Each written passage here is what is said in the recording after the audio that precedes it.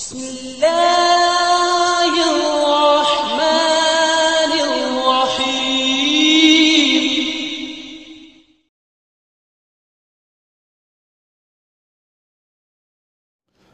அஸ்ஸலாமு அலைக்கும் வரஹ்மத்துல்லாஹி வபரகாத்துஹு கண்ணியத்திற்குரிய மோமின்களே அல்லாஹ் ஜல்ல ஷான்ஹு தாலாவின் பேரருள் நம் அனைவரின் மீதும் நின்று நிலவட்டுமாக அல்லாஹின் பேரொருளால் நாம் ஏங்கிக் கொண்டிருக்கக்கூடிய புனிதமிகு ரமலான் இன்னும் ஓரிரு தினங்களில் நமக்கு வர இருக்கிறது.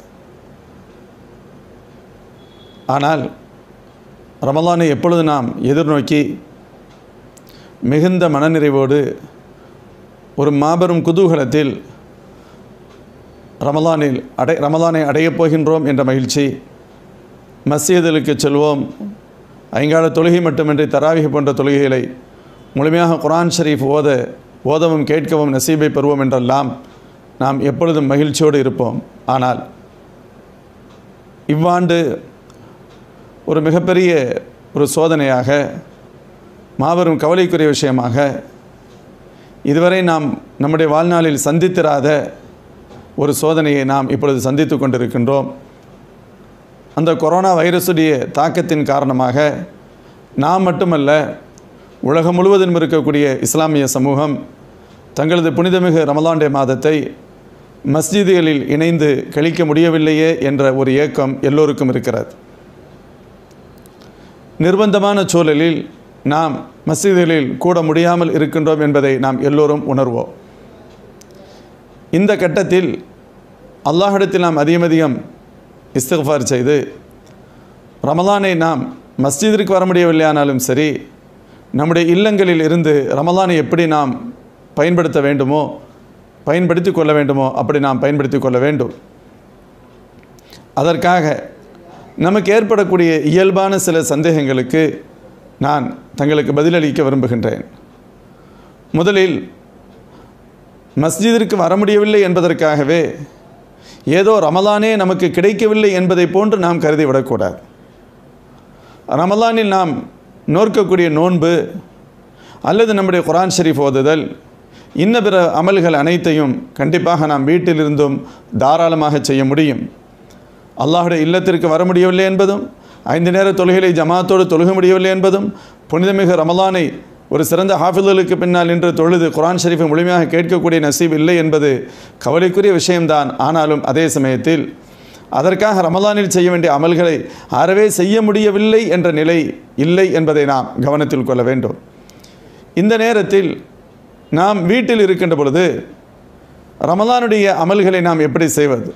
குறிப்பாக ரமலானுடைய தராவிகளுடைய தொழுகையை தொழ வேண்டும் என்ற ஆசையும் ஆர்வமும் நம் எல்லோருக்கும் இருக்கும். நாம் வீடுகளில் தொழுகின்ற நேரத்தில் நாம் எப்படி தொழ வேண்டும் என்ற சில வழிமுறைகளை அதில் தங்களுக்கு ஏற்படக்கூடிய சந்தேகங்களை நிவர்த்தி செய்வது தான் நான் இப்பொழுது உங்களோடு கலந்துரையாடக்கூடிய இந்த நிகழ்வின் நோக்கம். ஆதலால் இது விஷயத்தில் ஏற்படக்கூடிய இயல்பான சில சந்தேகங்களுக்கு நான் தங்களுக்கு பதிலளிக்க விரும்புகின்றேன். நாம் நம்முடைய இல்லங்களில் மஸ்ஜிதுகளுக்கு வர முடியவில்லையானாலும் நமது இல்லங்களில் தொழ முடியும். ஒருவர் மட்டும் ஒரு வீட்டில் இருக்கிறார் அவர் தனியாக தொழுது கொள்வார். நாம் நம்முடைய இல்லத்தில் ஒரு ஐந்தாறு நபர்கள் இருக்கிறோம் அல்லது பத்து நபர்கள் இருக்கிறோம். நம்முடைய இல்லங்களிலிருந்து அந்த தராவியுடைய தொழுகை எப்படி நிறைவேற்றிக்கொள்வது ஐங்கால தொழுகையை நாம் கடந்த ஒரு மாதமாக நம்முடைய வீடுகளில் இருந்தபடியே ஒருவர் இமா விஷயம் தெரிந்த ஒருவர் தொலை வைக்க நாம் பின்னால் என்று தொழுது கொண்டிருந்தோம். இதை போன்றுதான் தராவியுடைய தொழுகையும் நாம் பின்பற்றி தொலை பின்பற்ற முடியும். தராவிகளுடைய தொழுகையில் இப்போ ஒரு சந்தேகம் வரும். ஆண்கள் தொலை வைக்கின்ற பொழுது பெண்கள் எப்படி பின்னால் என்று தொழுவது என்ற சந்தேகம் எழலாம். வீட்டில் உதாரணத்திற்கு நாம் ஒரு ஆறு பேர் இருக்கிறோம். ஒரு நபர் வீட்டின் வீட்டில் இருக்கக்கூடிய அந்த மூத்த ஆண் அலமதுல்லா அவருக்கு தொலை வைக்க தெரியும். அவர் தொழுகிறார் என்று சொன்னால் முதலில் அந்த ஆண் அவர் இமாமத்து செய்கிறார். அதற்கடுத்து மீதி இருக்கக்கூடிய ஆண்கள் பின்னால் இருக்க வேண்டும். அதற்கு பின்னால் அதாவது அந்த ஆண்களில் பெரியவர்களும் அதற்கடுத்து சிறுவர்களும் அதற்கடுத்து பெண்களும் இருக்க வேண்டும். இது ஒரு சிறந்த நடைமுறை. இமாமுக்கு பின் பின்பு ஆண்கள் இருக்கும் பட்சத்தில் அந்த ஆண்களுக்கு பின்னால் நாம் ஒரு ஸ்கிரீன் திரையை ஏற்படுத்திக் கொள்வது சிறந்தது. அல்ல ஆண்கள் இல்லையானால் ஒரு ஆண் இமாமத்து செய்கின்ற பொழுது தொலை வைக்கின்ற பொழுது அவருக்கு பின்னால் நாம் திரையை ஏற்படுத்தி அதற்கு பின்பு பெண்கள் நின்று நாம் தொழ வேண்டும். ஆனால் அதே சமயத்தில் சில சகோதரர்கள் கேட்கிறார்கள் பெண்கள் அலமதுல்லா பெண்கள் இன்றைக்கி அல்லாவுடைய கிருபையில் நிறைய ஹாஃபிலாக்கள் குரான் ஷரீஃபை முழுமையாக மனனம் செய்த பெண்கள் இருக்கிறார்கள். இந்த பெண்கள் தொழ வைத்து ஆண்கள் பின்னால் என்று தொழலாமா என்ற கேள்வி வரும். ஆண்கள் தொழ வைத்து பெண்கள் பின்னால் என்று தொழுவது கூடும். ஆனால் பெண்கள் தொலை வைத்து ஆண்கள் பின்னால் என்று தொழலாமா என்று கேட்டால் பெண்கள் தொலை வைத்து ஆண்கள் பின்னால் என்று தொழ முடியாது. அந்த தொழுகின்ற ஆண்களின் தொழுகை கூடாது. ஆனால் ஒரு பெண் தொலை வைக்க அவர்களுக்கு பின்னால் பெண்கள் நின்று தொழுகிறார்கள் என்று சொன்னால் அதாவது பெண்களுக்கு ஒரு பெண் இமாமத்து செய்வது தொழுகை நடத்துவது கூடுமா என்று கேட்டால் தாராளமாக கூடும். ஒரு ஹாஃபிலான பெண் இருக்கிறாங்க. அல்லது அந்த பெண்கள்லேயே ஒருத்தர் அதிகமான சூறாக்கள் ஓத தெரிந்தவர் இருக்கிறார் தொழுகையுடைய சட்டத்திட்டங்கள் தெரிந்தவர் இருக்கிறார் என்று சொன்னால் அந்த பெண் தொலை வைக்க அவர்களுக்கு பின்னால் பெண்கள் அந்த அந்த பெண்ணோடு சேர்ந்து மற்ற பெண்கள் ஜமாத்தாக தொழலாமா? தொழலாம். ஆனால் அவ்வாறு தொலை வைக்கக்கூடிய பெண் ஒரு ஆண் நிற்பதை போன்று முன்னால் தனித்து நின்று அதற்கு அடுத்து பெண்கள் நிற்பது என்ற முறை இல்லை. மாறாக அந்த முதல் சஃபில் பெண்கள் ஒரு ஃபஸ்ட்டு சஃபில் நிற்கிறாங்கல்ல அந்த சஃபில் அந்த சஃபுடைய மத்திய பகுதியில் நடுவில் பெண்களோடு அந்த சரிய சமமாக தொலை வைக்கக்கூடிய பெண்ணும் நின்று கொள்ள வேண்டும். நீங்கள் பார்த்துருப்பீங்க ஆண்கள் முன்னால் நிற்பாங்க அப்படி இல்லாமல் பெண்கள் இமாமத்து செய்கின்ற பொழுது பெண்கள் பெண்களுக்கு மட்டும் இமாமத்து செய்ய முடியும். ஒரு பெண் தொலை வைக்கின்ற பொழுது ஒரு ஆண் பின்னால் இருந்து தொழ முடியாது. அப்படி தொழுதால் அந்த ஆணின் தொழுகை கூடாது. மாறாக பெண் பெண் பெண்ணுக்கு பெண்களுக்கு இமாமத்து செய்ய முடியும். அவ்வாறு தொலை வைக்கக்கூடிய பெண் முதல் சஃபில் பெண்களுடைய சஃபிலேயே அவர்களுக்கு நடுவில் பெண்கள் அந்த சஃபுடைய மையப்பகுதியில் நிற்பால் பெண்களோடு பெண்களாக சமமாக முன்னால் செல்லாமல் அதே இடத்தில் நிற்பார்கள். இதை நாம் கவனத்தில் கொள்ள வேண்டும். அதே போன்று சில சகோதரர்கள் கேட்குறாங்க வயதிற்கு வராத சிறுவர்கள் சின்ன பிள்ளைங்க இருக்கிறாங்க அவங்களுக்கு ஓத தெரியும். அவங்கள வச்சு அவங்கள தொழு வைக்க சொல்லாமான்னு ஒரு கொஸ்டின் வருது. வயதிற்கு வராத சிறு பிள்ளைகளை கொண்டு வயதிற்கு வராத சிறுவர் ஒரு ஆண் பையன் இருக்கிறாரு அவர் தொலை வைக்கிறாருன்னு சொன்னால் அப் இம்- இமாம் ஷாஃபி ரமத்துல்லாண்டிய மதுகபின் அடிப்படையில் அந்த தொழுகை கூடும். அது ஃபரலாக இருந்தாலும் சரி அவரிடத்தில் கூடும் என்று சொல்லப்படும். ஹனஃபி மதுகபை பொறுத்தவரை சிறுவர்கள் தொலை வைப்பதற்கு அனுமதிக்கப்பட மாட்டார்கள். அவங்க தொலை வச்சா கூடாதுங்கிறதான் கருத்து. சில பேர் ஃபருது தொழுகை எல்லோரிடத்தையும் எல்லோருமே முடியாது அப்படின்னு சொல்கிறாங்க சிலர் நஃபில் தொழுகை தராவிகி போன்ற உபரி தொழுகைகளை ஃபருது அல்லாத தொழுகைகளை சுன்னத்தான தொழுகைகளை தொலை வைக்க முடியும் என்று சொல்பவர்களும் உண்டு.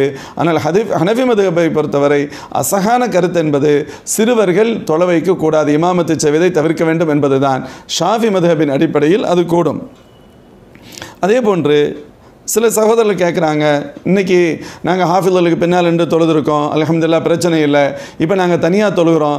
எங்களுக்கு மொத்தத்திலேயே ஒரு அஞ்சாறு சூறா தான் தெரியும். நாங்கள் எப்படி இருபது ரக்காத்து தொழ முடியுமா? அப்படின்னு கேட்குறாங்க கண்டிப்பாக தொழ முடியும். ஒவ்வொரு இரண்டு ரக்காத்து தான் கணக்கு. சலாம் கொடுத்துட்டீங்கன்னு சொன்னால் புதுசாக ரெண்டு ரக்கா தொழுகிறீங்க. அதனால் பிரச்சனையே இல்லை. உங்களுக்கு எத்தனை சூறாக்கள் தெரியுமோ அந்த சூறாக்களை கொண்டு நீங்கள் தாராளமாக தொழுது கொள்ளலாம். ஆனால் அந்த சின்ன சின்ன சூறாக்கள் ஓதுகின்ற பொழுது கூட முதல் ரக்காயத்தில் எந்த சூறா ஓதினீர்களோ அதற்கு அடுத்து ரக்காயத்திற்கு ஓதுகின்ற பொழுது அதற்கு பின்னால் வரக்கூடிய சூறாவை ஓத வேண்டும். அதை மட்டும் கவனம் செலுத்தினால் நல்லது. உதாரணத்திற்கு முதல் ரக்காயத்தில் குலியாயுகள் காஃபிரன் ஓதினால் இரண்டாவது ரக்காயத்தில் இதாஜா நசுருல்லா ஃபார் எக்ஸாம்பிள் உதாரணத்திற்காக சொல்கிறேன். இப்படி ஓதுறது பெட்டர் ஃபர்ஸ்ட் ரக்காயத்தில் இதாஜா ஓதிட்டு இரண்டாவது ரக்காயத்தில் குலியாயுகள் காஃபிரன் ஓதுவதற்கு பகரமாக. அப்படி ஓதினால் தொழுகை கூடுமா? தொழுகை கூடிவிடும். ஆனால் முறைக்கு சிறப்பிற்கு மாற்றம்.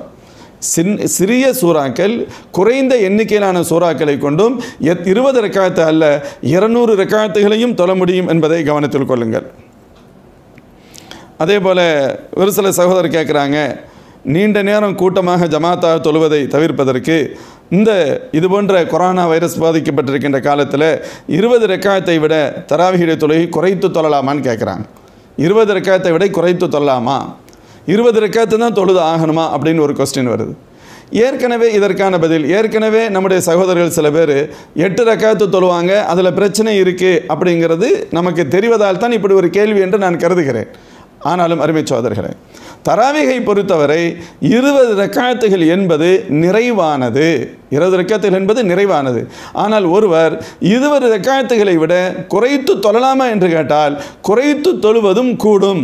அது பத்தாக இருக்கலாம் பனிரெண்டாக இருக்கலாம் பதினான்காக இருக்கலாம் பதினாறாக இருக்கலாம் எட்டாகவும் இருக்கலாம் ஆறாகவும் இருக்கலாம். அது வேறு விஷயம். கூடும்.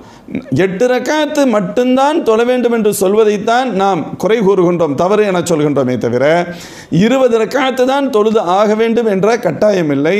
நாம் ஒரு சிறந்த சூழலில் பாதுகாப்பான சூழலில் இருக்கின்ற பொழுது தாராளமாக இருபது ரக்காத்துகள் தொழ வேண்டும். இப்பொழுதும் நாம் நமது வீடுகளில் தொழுகின்ற பொழுது இருபது ரக்காத்துகள் தொழுது கொள்வது தான் சிறப்பு என்பதில் இருவேறு கருத்தில்லை. ஆனால் அதே சமயத்தில் ஒருவர் பத்து ரக்காத்து தொழுகிறார் என்று சொன்னால் கூடுமா என்று கேட்டால் கூடும். ஒரு நாளைக்கு பன்னிரெண்டு ரக்காத்து தராவிக தொழுகிறார். கூடுமா? கூடும். எனக்கு இன்னைக்கு கொஞ்சம் நல்லா இருக்குது நான் பதினாலு ரக்காத்து தொழுகிறேன். கூடும். இன்று கூட ஹரமை பொறுத்தவரை நம்முடைய மக்கா மதினாவுடைய ஹரம் ஷரீஃபில் பத்து ரக்காத்துகள் தராவிக தொழுகை நடைபெறப் போவதாக அறிவிக்கப்பட்டிருக்கிறது என்பதும் தங்களுடைய கவனத்திற்கு தெரியப்படுத்திக் கொள்கிறேன். மேலும் சில சகோதரர்கள் கேட்குறாங்க இப்போ தான் நம்ம டெக்னாலஜி வளர்ந்துருச்சு. எல்லா பொருட்களும் எல்லாமே ஆன்லைனில் நம்ம தொடர்பு கொள்ள முடிகிறது. ஒரு நன்றாக ஓதக்கூடிய ஹாஃபில் ஒரு இடத்துல தொழு வைக்கிறாங்க. முழு குரான் ஓதுறாங்க. நாம் அவரை ஆன்லைன் வழியாக பின்பற்றி நமது வீடுகளில் இருந்தபடியே தொழலாமா அப்படின்னு கேட்குறாங்க அவர் ஒரு ஊரில் இருந்து அவர் இப்போ சென்னையில் ஒரு இடத்துல இப்போ நான் பெரம்பூரில் இருக்கேன் நான் தொழு வைக்கிறேன். நீங்கள் வெளியூர் மண்ணடியில் இருக்கிறீங்க அல்லது நீங்கள் ராயபுரத்தில் இருக்கீங்க நீங்கள் அமைஞ்சிக்கரையில் இருக்கீங்க தொழுகலாமா? இப்படி ஒரு கொஸ்டின் அல்லது மதுரையில் தொழு வைக்கிற ஒருத்தரை நம்ம ஃபாலோ பண்ணலாமா? மக்காவில் தொழு வைக்கிற ஒருத்தரை தூரம்னு வந்துட்டால் எல்லாம் ஒன்று தானே மக்காவில் தொழு வைக்கிறாங்க அதை ஃபாலோ பண்ணி நாம் ஆன்லைன் வழியாக நம்ம அந்த கேமரா பார்த்து ஃபோட்டோ பார்த்துட்டு தொழ முடியுமான்னு கேட்டால் இப்படி சில சகோதரர்கள் கேட்குறாங்க இந்த கடந்த நான்கு வாரங்களாக நம்மால் ஜும்மா தொழ முடியவில்லை அல்லவா? அப்பொழுதும் சில சகோதரர்கள் மிகுந்த கவலையோடு கேட்கிறார்கள்.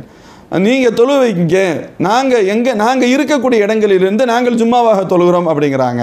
இது கேட்பதற்கு நன்றாக தெரியலாம். ஆனால் மார்க்க ரீதியாக சட்ட ரீதியாக இதற்கு அனுமதி இல்லை. ஜமாஅத்து தொழுகை என்பது தொழுபவரும் தொழுபவரும் தொழு தொழுகை நடத்துபவரும் பின்னால் நின்று தொழுபவர்களும் ஒரே இடத்தில் இருக்க வேண்டும். அதற்கு பெயர் தான் ஜமாஅத்து தொழுகை.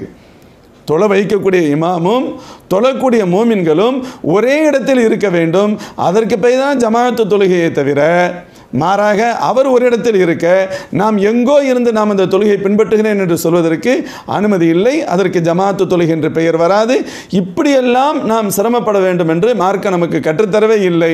நாம் நமக்கு மார்க்கம் அனுமதிக்கின்ற முறையில் நாம் தனித்தனியாக நம்முடைய தொழுகைகளை நிறைவேற்றிக் கொள்ள வேண்டும். இன்னும் சில சகோதரர்களுக்கு இப்படி ஒரு சந்தேகம் வருகிறது. தராவியுடைய தொழுகையில் ஒவ்வொரு இரண்டு ரக்காத்துக்கு பின்னால் ஒரு தஸ்பி ஓதுவாங்க நான்கு ரக்காத்துக்கு பின்னால் ஒரு நீண்ட தஸ்பி ஓதி அப்புறம்தான் ஒரு துவா செய்வாங்க அதுக்கடுத்து தொழுகை நடக்கும். இப்போ எங்களுக்கு அந்த தஸ்பிகளாம் தெரியாது. இப்போ நாங்கள் தராவியை தொலைவிக்க முடியுமா என்ற சந்தேகம் எழுகிறது. என்ற சந்தேகம் எழுகிறது. அருமை சகோதரர்களை இதற்கான பதில் என்ன அப்படின்னு கேட்டால் தராவீகுடைய தொழுகை இருபது ரக்காத்துகள் தொழுகிறோம். தராவீக தொழுகை என்பது வேறு அதில் ஓடக்கூடிய தஸ்பீஹாத்துகள் என்பது வேறு. அது ஓதக்கூடிய தஸ்மிஹாத்தில் என்பது வேறு. தஸ்மிஹாத்து இல்லை என்பதற்காக தஸ்மிஹாத்து ஓத தெரியலை அல்லது தஸ்மிஹாத்து ஓதலைங்கிறதுக்காக தராவியுடைய தொழுகையே இல்லை அப்படின்னு நினச்சிக்கிற கூடாது. தராவியுடைய தொழுகை தனி தஸ்பியாத்து தனி. ஆனால் அதே சமயத்தில் ரெண்டுக்கு மத்தியில் என்ன தொடர்பு அப்படின்னு கேட்டால் தராவீக தொழுகை என்றாலே ஓய்வு பெறுகின்ற ராகத்துடன் தொழுகின்ற தொழுகை அப்படின்னு அர்த்தம். அதனால் தான் ஒவ்வொரு நான்கு ரக்காயத்திற்கும் சற்று நேரம் ஓய்வெடுத்து அதற்கு பின்பு அந்த தொழுகையை தொடர வேண்டும். அப்படி தொழுவதற்கு பெயர் தான் தராவீக. இப்போ நாம் நான்கு ரக்காத்துகளுக்கு பின்பு ஓய்வெடுக்கிற ஹரம்லாம் நம்ம கேள்விப்பட்டிருக்கோம். முற்காலத்தில் எப்படி நடக்கும்னு கேட்டால் முன்ன ஆரம்ப காலங்களில் நான்கு ரக்காய் தொழுது முடித்ததற்கு பின்பு ஓய்வில் இருப்பாங்க. சில சமயத்தில் அந்த ஓய்வில் ஒரு தவாஃபு கூட முடிச்சிருவாங்களா மக்கள். அதற்கடுத்து மீண்டும் அடுத்த நான்கு ரக்காத்துகள் ஆரம்பமாகும். ஆனால் காலப்போக்கில் நாம் நம்முடைய இந்த இயந்திர சூழலில் ஒரு நீண்ட நெடு நேரம் தராகி தொழுகைக்கு நம்மால் நேரம் ஒதுக்க முடியவில்லை. வந்தமா? அப்படியே இருபது ரக்காத்தை கொஞ்சம் கண்டினியூவாக தொழுதுட்டு வேகமாக வீட்டுக்கு போய்விட வேண்டும் என்ற எண்ணம்.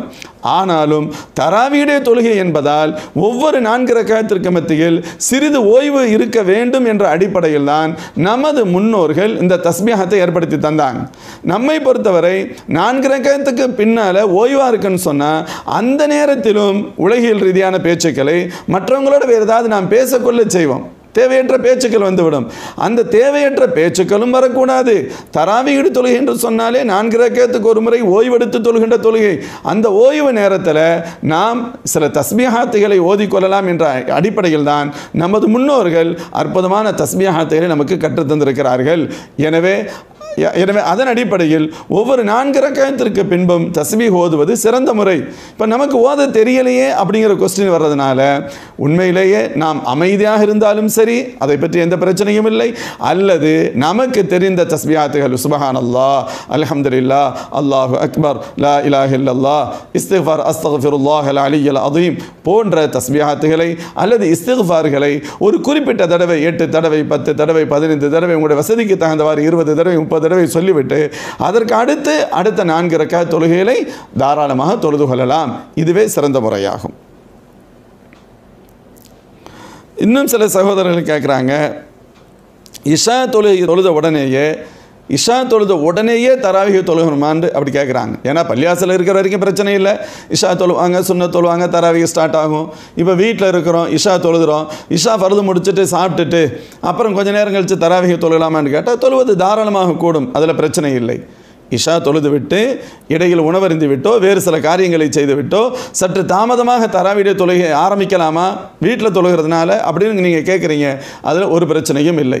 ஆனால் தராவிக தொழுது விட்டு சில சமயத்தில் ஃபஸ்ட்டு தராவிக தொழுதுறோம் அப்புறம் இஷா தொழுகலாமான்னு கேட்டால் தராவிக தொழுததும் கூடும் இஷாவுடைய தொழுகையும் கூடும். ஆனால் அது சிறந்த முறைக்கு மாற்றமானது. முதலில் இஷாவை தொழுது விட வேண்டும். அதற்கடுத்து தராவிக தொழ வேண்டும். அல்லாஹின் திருத்துதர் சல்லதாசர்கள் காட்டி தந்த சுன்னத் அதுதான்.